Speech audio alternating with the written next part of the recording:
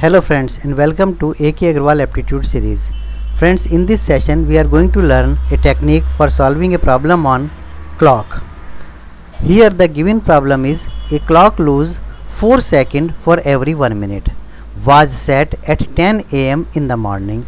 In the evening when the clock indicated 7.20 pm the correct time is. The clock lose 4 seconds for every 1 minute.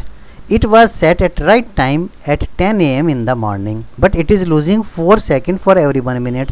So in the evening when the clock indicated 7.20 pm the correct time is. So friends to answer this question first let us determine it was set at 10 am and we want to know time at 7.20 so 10 am to 7.20 pm is equal to 9 hours and 20 minutes is equal to 9 into 60 plus 20 is equal to 560 minute is equal to 560 into 60 seconds so 10 am to 7.20 pm it is 560 into 60 seconds.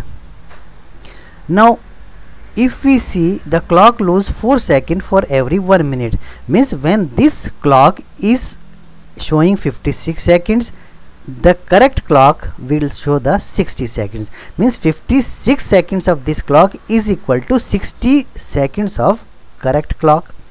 It means 1 second of this clock is equal to 60 upon 56 second of correct clock.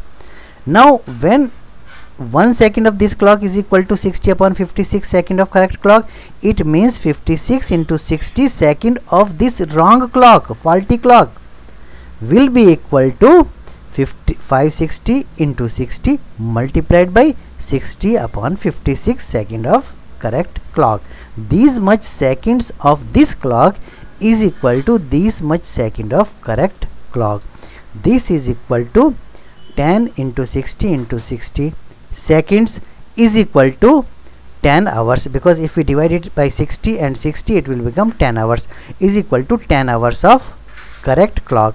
So when this clock is showing 9 hours and 20 minutes the correct clock will show the 10 hours. The clock was set at 10 am in the morning. So the correct time is 10 am plus 10 hours is equal to 8 pm so when this clock is showing 7:20 pm the correct clock will show the 8 pm friends thank you very much for watching this video. You can also follow me on facebook. Thank you very much